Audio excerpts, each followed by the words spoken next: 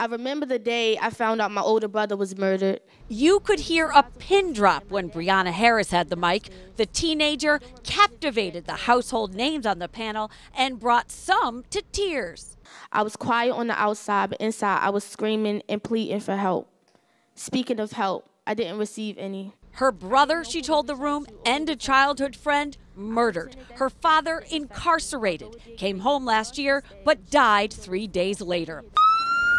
And then in February, this rising senior at Frederick Douglass High School witnessed a school shooting. But that's when I realized I had had enough. She started speaking out and was invited to speak here today by Congressman Elijah Cummings. Sitting on the sidelines of life and watching our kids and just complaining complain, complain, complain, that, that's not going to solve anything. Leaders say solutions can be legislated for this public health crisis. Research shows childhood trauma changes the brain, cuts the circuits in the frontal lobe, which regulates emotion. That half the kids in Baltimore City have experienced multiple traumas.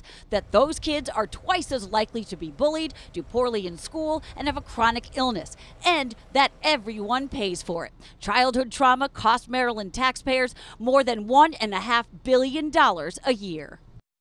Leaders want addressing childhood trauma to be part of the fabric and structure of the public school system. The idea, if you treat it and heal it now, you can prevent more trauma down the road. Reporting live from North Baltimore tonight, I'm Kate Amara, WBAL TV 11 News.